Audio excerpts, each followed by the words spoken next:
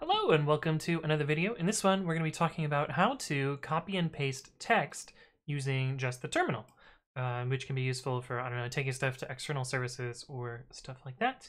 Um, I'm going to show you how to do this in Linux and on macOS. However, I couldn't get my Mac booting today, so unfortunately, you'll just have to deal with the Linux equivalent.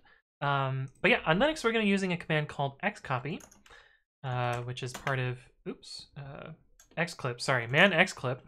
Not copy. Oh boy, off to a great start. Um, which uses, uh, and this is specific to the X windowing system, so it might uh, be slightly different if you're using a different uh, base base window system. But anyway, there's a whole bunch of options here. We're really only going to be looking at two of them. Uh, one of them is the dash selection, and again, this uh, tool is a little bit weird. So it uses single dash long options instead of double dash like most other tools do. Um, so note that down when you're running a command. Uh, so we're going to be using dash selection. That way we can use the keyboard as our, or the clipboard as our target. And we're going to be using dash O or dash out uh, for when we need to put things to output. Um, but the basics behind this is it takes input either using standard in or as a file. I'll show a file in a second. Uh, xclip dash selection C. This command will take its input and put it onto the clipboard. So if we do this and then, you know, paste using Control Shift V, uh, you'll see that it was able to take high and put it into the clipboard. Um, of course, you know, using the actual keyboard to paste is is not not the point of this video, um, because we can do that programmatically. So if we do dash O, you'll see that it uh, produces the output directly, and you might chain this command to some other command. Uh, I also mentioned that it can use a file. So if we write something to a file, such as this, and we do xclip dash selection C, and then the file names, in this case the file name is just F, uh, that will also copy it to the clipboard. Uh, so you can see there it is as well. And I believe you can also use uh, dash O to do that as well. Uh, maybe not. Nope, I guess not. this argument is just ignored? Weird. Uh, but anyway, that's xclip. This is what you would probably use on Linux. Uh, on macOS, it does not use the X system, so there are different commands.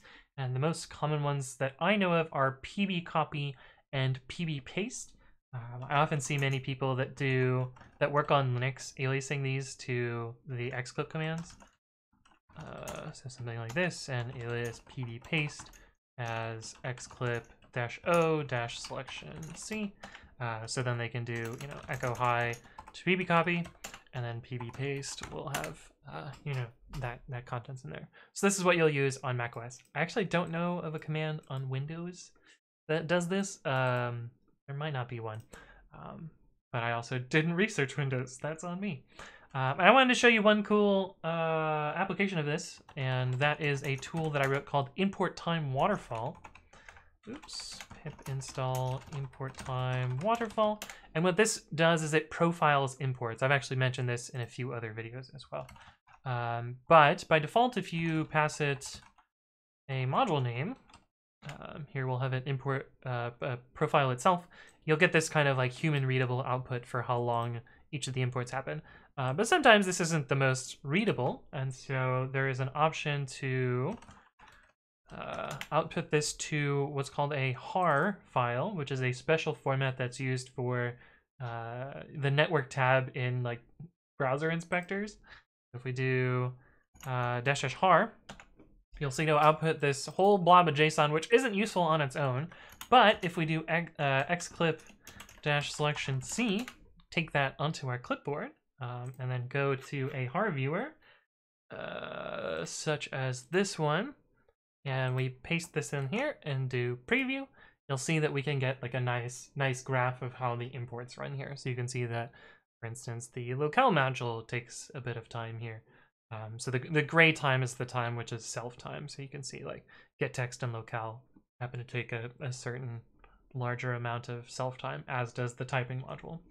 Um, but anyway, that's xclip uh, and how to read and write text from your clipboard. Hopefully this was useful. If there are additional things you would like me to explain, leave a comment below or reach out to me on the various platforms. Thank you all for watching, and I will see you in the next one.